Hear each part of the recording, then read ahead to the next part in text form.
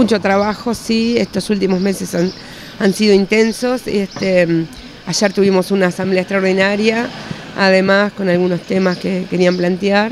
Y este, bueno, culminando un año, este, un año bien importante, porque empieza, eh, empieza otro año mucho más importante que es la campaña electoral y donde tenemos muchos desafíos por delante. Son muchos los desafíos que decís y seguramente una de las principales apuestas del Frente Amplio es armar estructuras para regresar al gobierno. Exactamente, digo, nosotros como Frente Amplio venimos trabajando en ese sentido. Nosotros hicimos después del 2020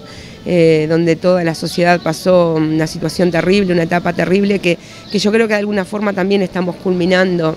este año, esa etapa de pandemia, entre, entre otras tantas cosas, de crisis, de, varias crisis,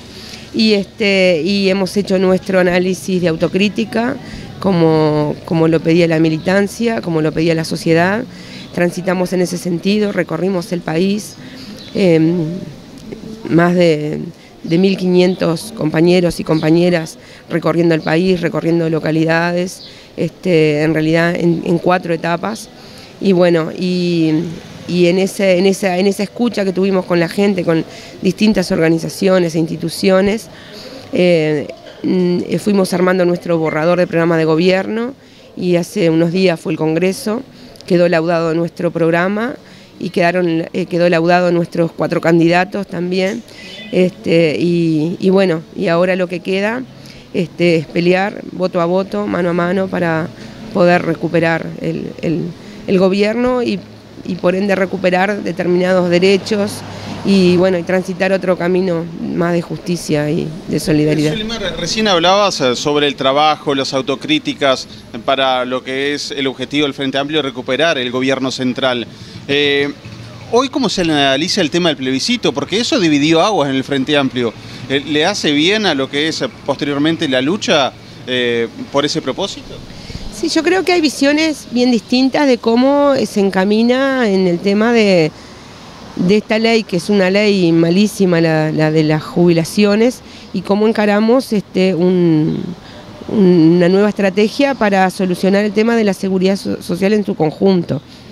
Y ha sido, este, ha sido muy discutido este, dentro del Frente Amplio, pero ha sido discutido con responsabilidad, con, determinados criterios, y a mí me parece que no necesariamente divide el Frente Amplio, o sea, nosotros, nuestros principales aliados, por supuesto, que es la clase trabajadora organizada, a mí me parece que los trabajadores tienen este, todo el derecho del mundo a, tener su, visión y a, a transitar esos caminos según el método que consideren necesario. Eh, parte de la fuerza política cree que va por otro lado, este, pero bueno, son cosas que, hay que vivir y que seguramente